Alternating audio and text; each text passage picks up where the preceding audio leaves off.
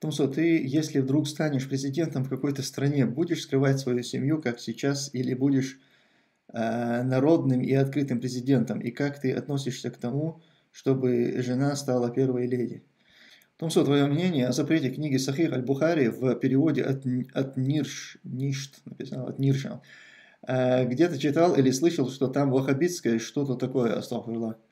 Абсолютно правы. Я тебе скажу, что вообще весь Сахих Аль-Бухари абсолютно полностью ваххабитская книга.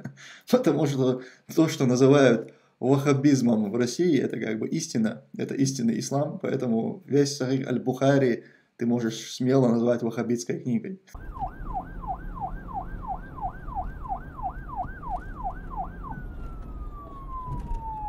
Тумсо вчера и на госуровне отмечали 200-летие имама Шамиля, там был и Масхадов, и Муфти Кадыров. Получается, для властей ЧР и имам Шамиль был героем.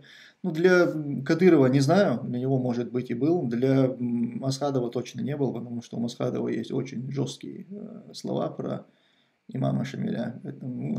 Из них мы можем однозначно сделать вывод, что героем он для, для Масхадова не был.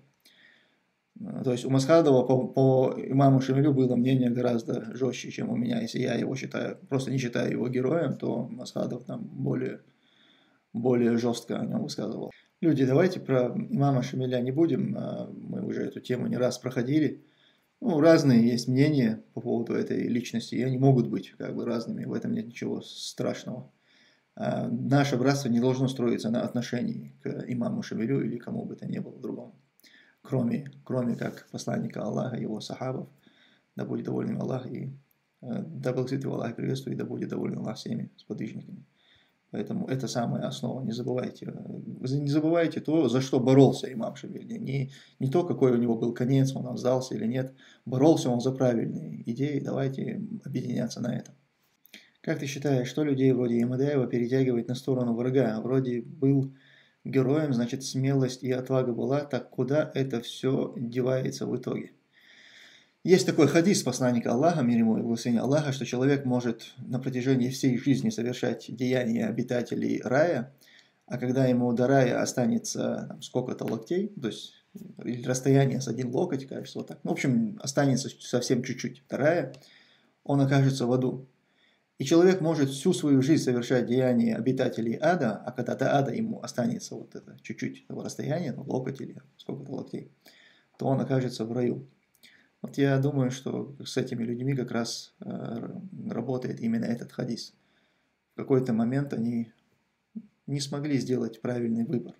Аллах испытал их, кого-то Аллах испытывает какими-то трудностями, кого-то наоборот богатством – а, деньгами, кого-то родственниками, потери этих родственников. И вот кто-то не выдерживает.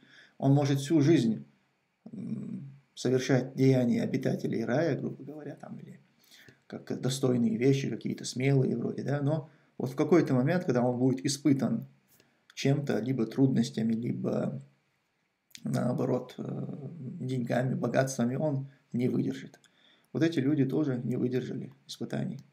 Тумсо, ты, если вдруг станешь президентом в какой-то стране, будешь скрывать свою семью, как сейчас, или будешь э, народным и открытым президентом? И как ты относишься к тому, чтобы жена стала первой леди? Э, для нас это, в принципе, как бы не актуальная тема, потому что у нас не принято там, с женами где-то ну, ходить, там, семью показывать на показ, а, выставлять на показ. Хотя, если, допустим, этого требует регламент, скажем, то в этом нет никаких проблем. Но вот э, то, что принято, допустим, у допустим, западных обществ, да не только в западных, в западных, даже в восточных каких-то обществах, э, показывать, там, появляться на публике и так далее, там, держаться за руки, допустим. У нас это, ну, это в принципе в менталитете такого нет, понимаете? То это не из-за того, что мы боимся там семью показать, или у нас какие-то там скелеты в шкафах. Не из-за этого, а потому что ну, не принято, это некрасиво. Поэтому, конечно, ну, нет, для, я бы, будучи не то, что там президентом, а каким-то, ну, даже я, будучи блогером, даже я этого не делаю, да. Но это не значит, что если будет какая-то ситуация, когда надо, например, встреча, на которую нужно прийти семьями, например, Не значит, что ты туда не можешь теперь семью взять. Конечно, в этом нет ничего.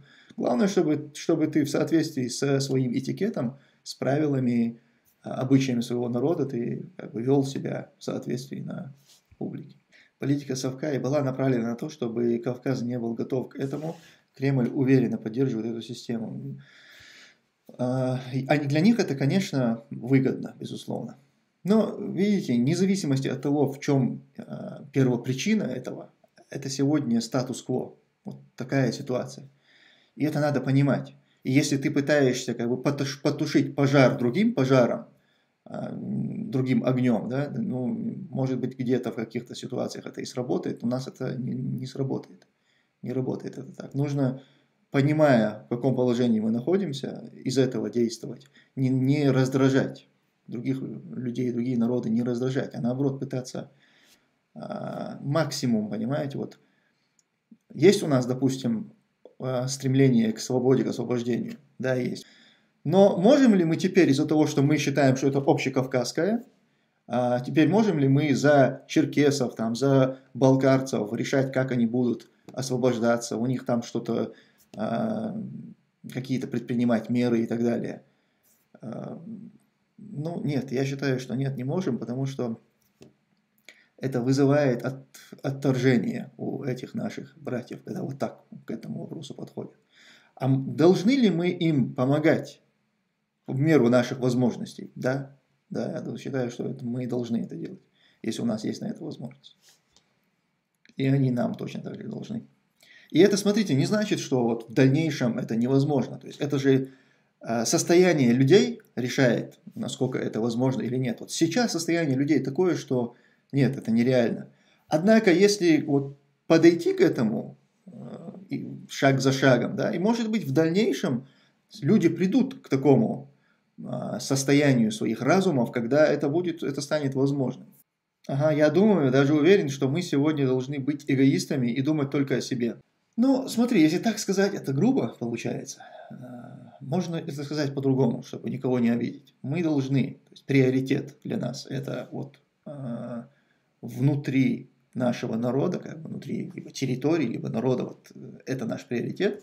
И он должен быть для каждого именно таким. Но при этом как бы не забывать, да, чем можем, мы должны помогать, мы должны как-то там какие-то коллаборации а, вступать в, это, в этом плане, да. Но основной упор он должен быть, он должен делаться внутри своего народа, своего общества, там, своего государства.